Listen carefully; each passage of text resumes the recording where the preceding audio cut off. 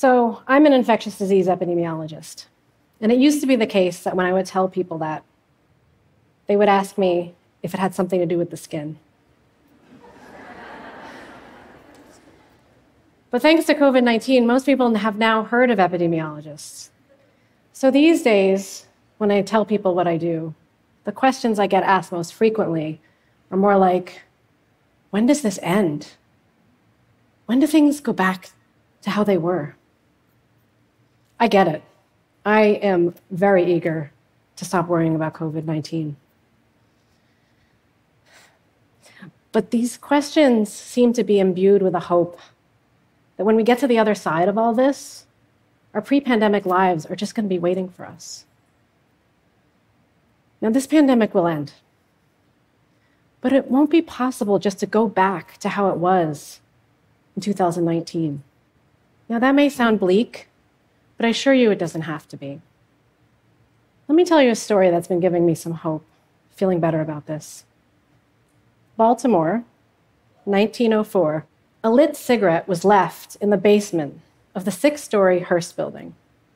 Within a half an hour, the fire grew to an out of control conflagration.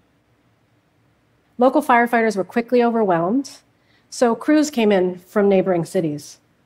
But when they arrived, they couldn't hook up their hoses because in 1904, there were over 600 variations of hose couplings on hydrants in the United States. The fire destroyed more than 1,500 buildings and 2,500 businesses. And when it was finally extinguished, the burnt district, as it was called, spanned more than 80 blocks. Fortunately, just a few people died. But that was probably a function of luck due to the fact that the fire broke out in a business district that was uninhabited on the weekends. The story of the Great Baltimore Fire of 1904 is important for a few reasons. To this day, it is one of the largest urban conflagrations in US history. And in today's money, the toll of this one event is upwards of $3 billion. But the Great Fire is remarkable not just for its tolls, but for what happened afterwards. Witnessing the devastation that was caused by a single unattended cigarette prompted massive change in how Baltimore and the rest of the country protect itself against urban fires. We saw changes in three major areas First, we began using data to make buildings safer and to improve the way we respond to fires. Governments passed ordinances that became the basis of the first building codes, standards that inform the design and construction of buildings to make them more resistant to fire and to protect the people that occupy them. We installed fire alarms so that we could detect and pinpoint fires in buildings as soon as they occur and alert people of the need to evacuate. And we created national standards for firefighting equipment so that crews coming out of state could hook up their hoses. The second area of change is that we created a culture of fire safety. We regularly test fire alarms and fire hydrants, and we educate people about the risk of fires, how to prevent them, and what to do when one occurs. Do you remember stop, drop, and roll and fire drills in schools? These exercises prime us to act when the alarms go off. Even if there's no noticeable sign of fire, we know we're supposed to get out of the building until someone tells us it's safe to go back.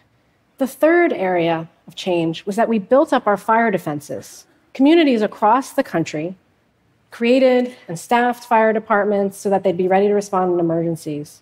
And because we don't know when the next fire is going to occur, we operate our fire defenses 24 hours a day, every day. And we don't get rid of our fire defenses just because we haven't had a fire for a couple years data, drills, and defense. The collective impact of changes implemented in the US since 1904 has meant that we no longer have the same number of great urban fires that were so frequent in the 19th and early 20th centuries.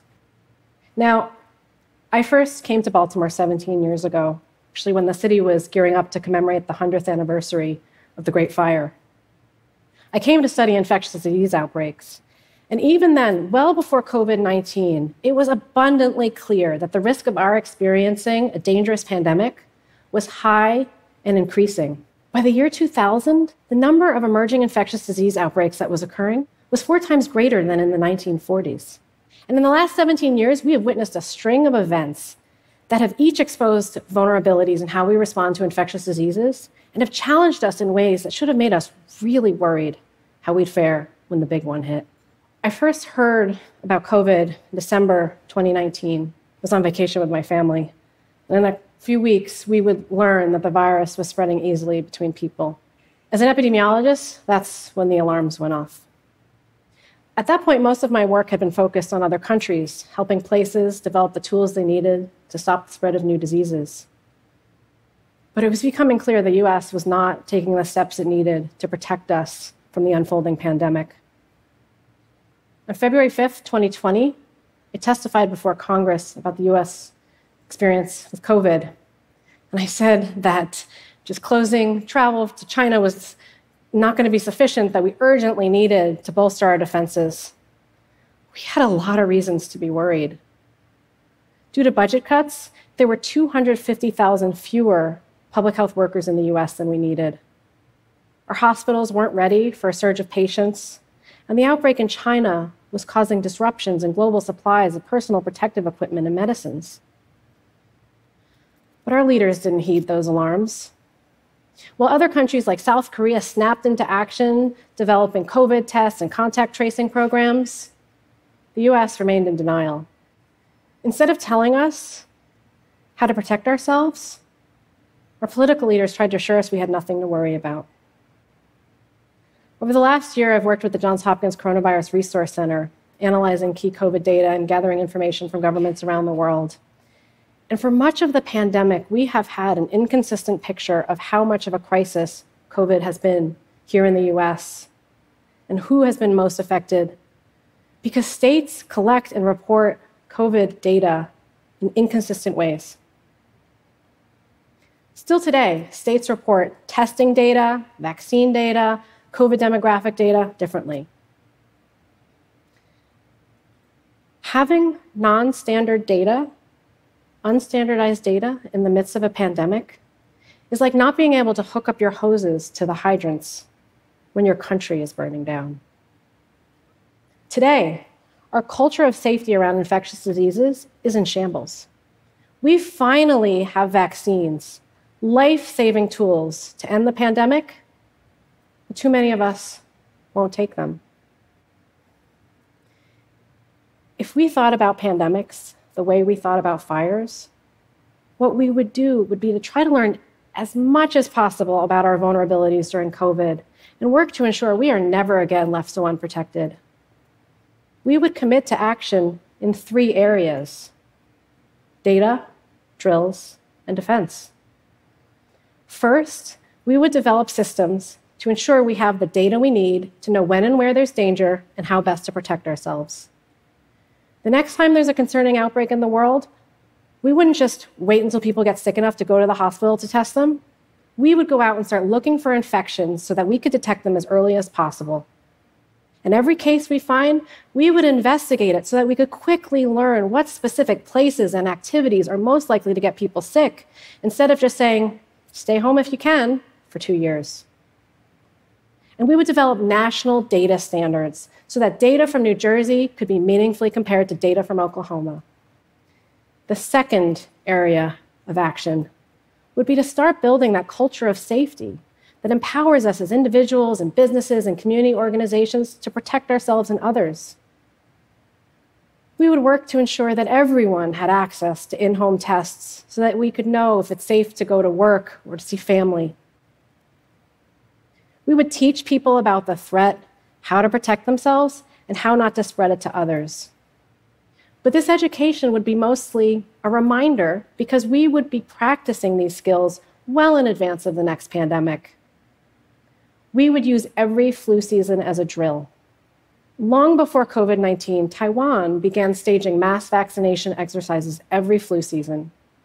They did this to boost vaccination rates in the most vulnerable but also to practice how they would do it in a pandemic, so that well in advance of a crisis, people would know where and how they would get a vaccine. Now, at a time when the country is incredibly divided, I know it may seem impossible that we could build this culture of safety around infectious diseases that we need. But I have spent the last year and a half talking to all sorts of people with a range of views on these issues, from top leaders to QAnon believers. And I assure you, we all want to protect ourselves and our families. But we need to build trust. And we can't do that if we wait until the next crisis to talk to each other. The third area where we take action is to build our defenses against infectious diseases. Instead of a skeletal public health infrastructure that waxes and wanes with every crisis, we would maintain for good a large cadre of highly skilled public health professionals who work day in and day out to make our communities healthier and safer and be ready to respond in an emergency. We'd reduce our structural vulnerabilities to infectious diseases, starting with our buildings, updating our building codes and ventilation systems so that we could be assured that these spaces will not result in super spreading. And we would implement economic defenses, policies that provide financial and social support to people who need to stay home because they're sick or a loved one is sick or they need to quarantine so they don't have to choose between following public health guidance and earning a paycheck. Data, drills, and defense. If we acted in these three ways, we'd have a much better shot of keeping the next pandemic threat to a manageable outbreak instead of a blazing inferno that engulfs entire cities and countries.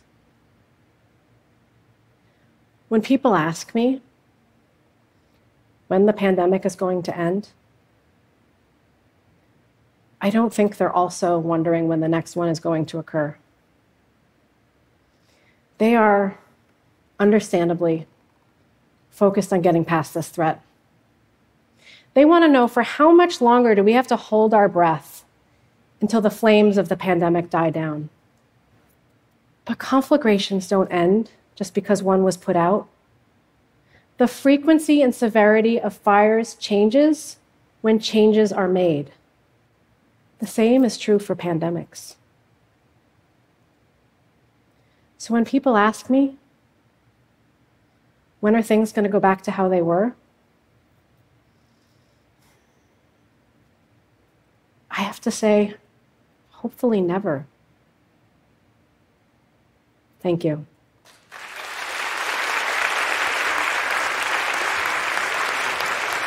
Thank you. Thank you so much. Thank you. So, you talked about trust in that. And we've seen that the vaccine rate, when it's available, is really shockingly low. And much of that is really related to trust trust in the systems, trust in society. What are ways that you think that we can, that we can do a better job as a society to convince people that vaccines are safe and people should take them? I think, first of all, don't give up on people. I have seen people change. And you have to come at your conversations with people from a place of empathy. Try to understand why, right? We don't do enough of that, trying to understand like why people feel that way and engage with them, hear them. I have found that just simply giving space to people to allow them to talk about their anxieties and their concerns and having the conversation takes it from a culture war to just a conversation between human beings. And we've lost that ability. And part of the pandemic has taken that ability from us because we've had few opportunities. Um, but we really do have to talk to each other and have the hard conversations and just recognize that we're all walking through this world trying to get the same things, trying to do the same things. Thank you for everything that you're Thank doing, you. Jennifer. Thank, Thank you so much. Thank you.